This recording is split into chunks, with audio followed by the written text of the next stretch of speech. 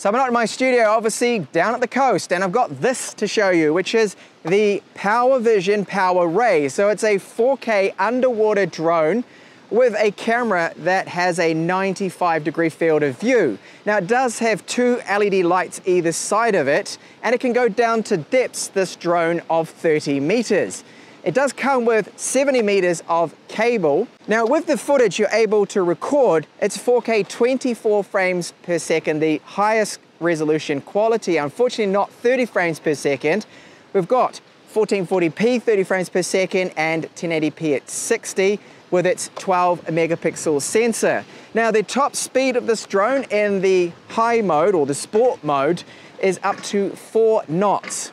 The Power Ray does come in its own suitcase. It's quite a decent quality one and it has wheels as you can see with everything nicely packed away and in its own little compartment here where there's a lot of padding around it too to protect everything. This is our base station here, so that connects up wirelessly to a phone running the application. This plugs into one end of the cable, the other goes into the drone, and then we've got a mobile phone mount here for the controller does come with a quick start guide which is in various different languages. Fish Finder, our controller, we've got some VR goggles, you do need to insert a phone into them, power supply, and then the cable, which is 70 meters long. Just a few quick stats now about this particular drone. So charge time will take around about two and a half hours to fully charge the 94 watt hour battery. And the runtime is four hours of light use. So that's on the low motor mode in still water and around an hour and a half with the medium speed, and then just half an hour on the full high speed setting. And if you have, for example, you're fighting tides and things, it's really going to affect the battery runtime with it.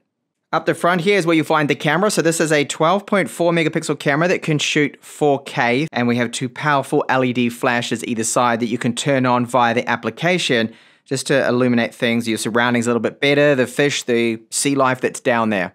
So the props, there's one in the middle of it for controlling our depth. This here is made out of metal. And there are another two either side here. So mostly all plastic apart from these props being metal. There's a little bit of rubber here on the bottom. And there is a built-in LED which is blue along the top here to help identify where the drone is. Imagine if you lost it in the water, you couldn't really see where it was. Well, this LED is going to help because it will be flashing away. Now this is going to be my spot where I'm recording. So this is one of the requirements really is you want to find somewhere that you've got very clear water. Otherwise the results won't be so satisfying when you see just murk in the water or it's quite muddy water. Now you do also need a lot of patience. This is now my third attempt to get good footage because other days there just wasn't any direct sunlight out. It's been overcast. That's going to affect the footage quality and if it's really rough or the water's murky, it won't look so good. So I can already see uh, quite a few fish just down in this area. Hopefully I'm gonna be able to get some good 4K footage of them. And do remember to bring along some fresh water because I'm in the salt water here. I'm going to need to wash the drone down afterwards. You don't want to have it sitting around, sitting back in the case here. If it's got salt all over it, it could damage it. So that's why you need to just rinse it out.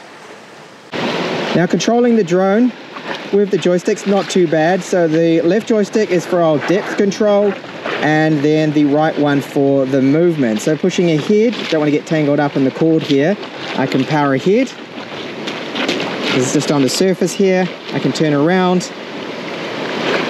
And then if I pull down and forward, it then does start to dive right down there, hopefully not hitting those rocks.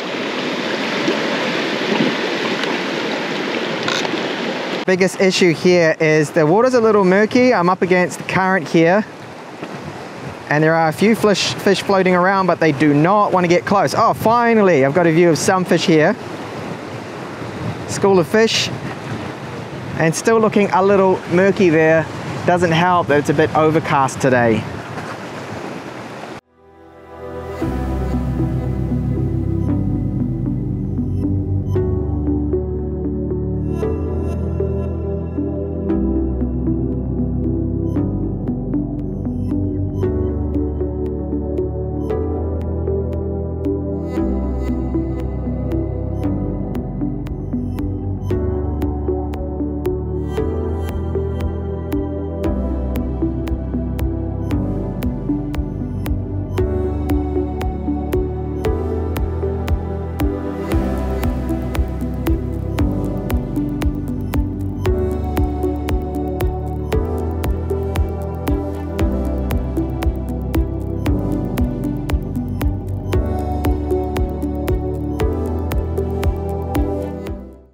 Very hit and miss when it comes to where you're going to be recording. It's one of the important things that you find a spot where you've got still water, but very clear water as well to get the maximum quality out of the footage. So it is pretty much an easy kind of drone to control, especially when you put it into the low mode to maneuver it around. It's not too difficult. Depths down to 30 meters. I was nowhere near that here. It's quite shallow. And as you saw from some of that sample footage, you are able to get some interesting looking shots of marine life down there, some of the fish swimming around, but it does move and rock about a little bit with the currents. So that's why you probably want somewhere like a freshwater lake if possible that is very clear to get some of that decent footage. Now speaking about the footage, I've had a look at some of it and I find it to be all right, but it's a shame that it's only 24 frames per second at the top resolution. It really needs to be a smoother 30 frames per second with this drone.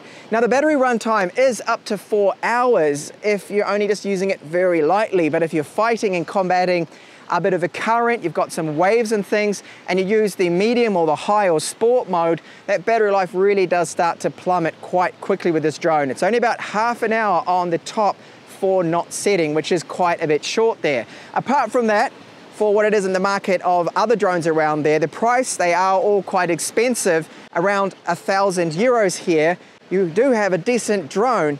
It's just I wish that quality is the big one for me, at least if it could do 30 frames per second, if somehow they can update the firmware with it, that would be really good. So thank you so much for watching my review here of the Power Vision Power Ray underwater drone.